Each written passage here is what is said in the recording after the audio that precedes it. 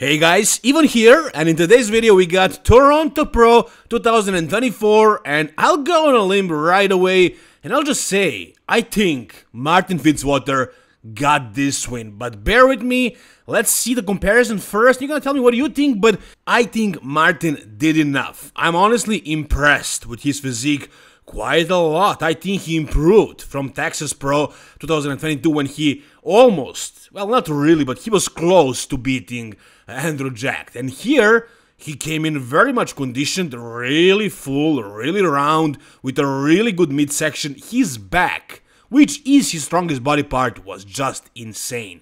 Super round, super bubbly, super thick glutes, shredded hamstrings, separated, shredded. Like he was seriously conditioned. Look at the lower lats.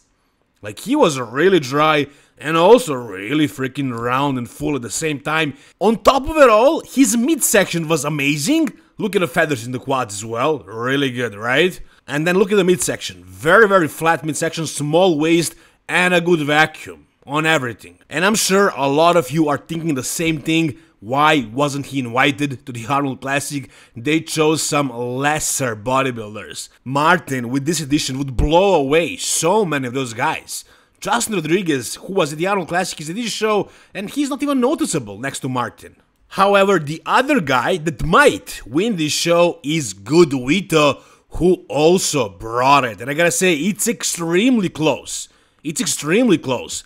Guido, I think, came in fuller then Arnold Brazil with pretty much the same conditioning. So he is definitely improved. This is the best version of Guido ever. And he looks really impressive. Why I don't think he's gonna beat Martin is this pose right here. Even though he's very much detailed and shredded in the back poses, you'll see a comparison. Martin is just way thicker. But Guido also really shredded through the lower back, glutes and hamstrings. Everything is just really well conditioned very detailed, full, fuller than Arnold Classic uh, Brazil. So really, really impressive version of Guido. Who's gonna win this show? Again, in my eyes, I think it's Martin Fitzwater. But now if I show you a comparison, and we start with this pose, and I say Martin is winning this show, you might be thinking even lost his mind. But bear with me, you're gonna see the other poses. This pose is really, really good pose for Guido. He is very dominant, very hard to beat in this one.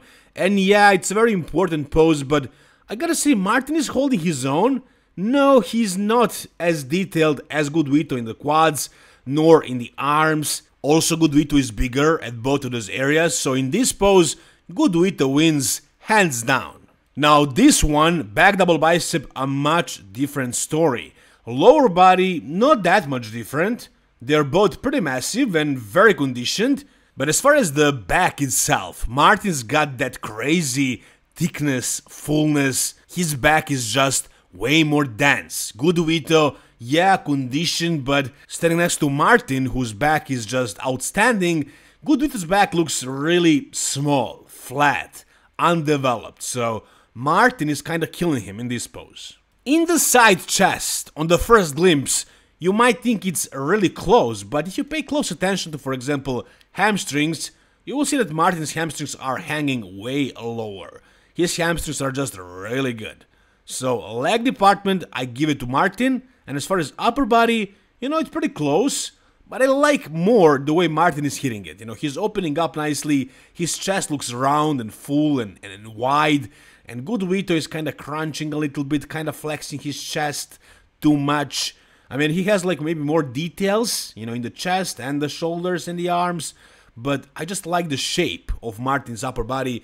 But because of the legs, mainly, I give this pose to Martin. Side tricep, hell man, be my guest. You tell me who is winning this one. I gotta say again, these guys are extremely, extremely close and also they are like very similar. They're the same height basically. They also kind of have similar structure. They're both equally as conditioned and as full. So it all goes down to basically the development of all body parts, overall completeness of literal just muscular development. That's all we're looking here because both of them are really conditioned equally, as detailed, as conditioned in every single area. So it's all about like who's got bigger what. And in the side tricep, it's really freaking hard to make my mind. I mean, yeah, Martin has really big and hanging uh, hamstrings, but Gudo is opening up more and has more details maybe in the chest and, and the arms and the shoulders. Uh, his triceps, for example, are detailed, but they're not as full as Martin's. But overall, this pose, I think it's just very much equal. These guys are very close, so I'll give this one a tie. Back lat spread, I gotta say Gudo potentially looks even better in the hamstrings. He maybe has more dug out hamstrings and more detailed. Maybe not as big as Martin's, but you can't really see that in this pose. You can see it from the side, but in the back poses, he just has more details in that area. And as far as the glutes, Martin is showing more of his glutes, but Gudo is also showing more of his glutes than he was showing at the Arnold Classic Brazil. So I guess doing that, hiding his glutes at the Arnold Brazil was probably a mistake. And he realized that, and here, as he got even more conditioned, more detailed, and I think it's just a matter of fullness.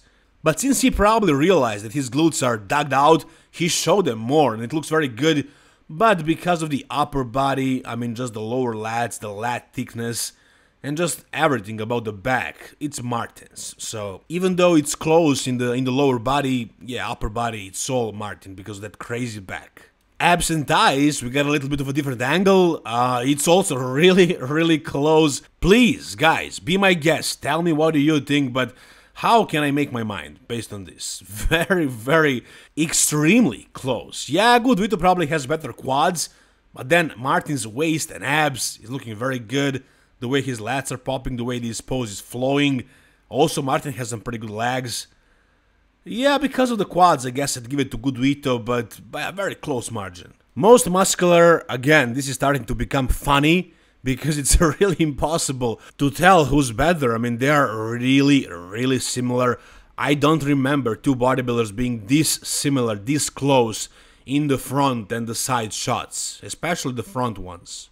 So I think Martin is winning this one because of his back. The back is gonna be a determining factor, and that's about it. It's very extremely close in the front and the side shots, but Martin's got a really, really good back. And you guys saw what Derek Lunsford did at Mr. Olympia with his back. It is not a coincidence that people are saying the shows are won from the back because people have seen that so, so many times by now. It happens all the time, especially when it is kind of close. The guy with the better back wins because back, that's like a luxury muscle, luxury body part. Not everybody has it so many great bodybuilders did not or do not have a good back. I'd say most of them have a weak or average back, and it's really a rare few who actually have an impressive back. And when the judges see that, I'm sure they're gonna go crazy for Martin, and that's why, again, I think Martin's got this. I think he's winning this. And yeah, I know you might say Justin Rodriguez's back is probably as big or even bigger than Martin's. So why isn't he winning this show? It's very simple. It's because of his front. In the front shots, he looks horrible. He looks terrible. His legs are just flat now, they're down in size, and his midsection is tripled in size over the past, I don't know, five years or so. Like his midsection is just huge, way out of proportions. There is no way of fixing that. I think he's just losing muscle everywhere right now and only gaining in his uh, waist, in his midsection. So you can see his arms and his lats and even his chest and legs. Everything looks smaller. It's only his waist that looks bigger. Or maybe because of the size of his waist, everything else looks smaller. I don't think that's the case. I think he's melting slowly and at the same time growing out that bubble gut. So I think it is time, and it's been for a couple of years, for Justin Rodriguez to retire and end his career with some pride, or he's gonna end up like new Dave Palumbo. People are gonna start calling what's happening to him Rodriguezism or something like that, just like it was Palumboism. Once again, it is between Martin and Vitor. They are in the top two. Maybe you guys will prefer Vitor for some reason. If you do, tell me down below. But if you agree with me, you think Martin's got this, also, tell me in the comment section. If you guys enjoyed this video, give it a thumbs up. And for more content like this, subscribe to my channel, guys. Thank you so much for watching. See you soon. All the best and bye-bye.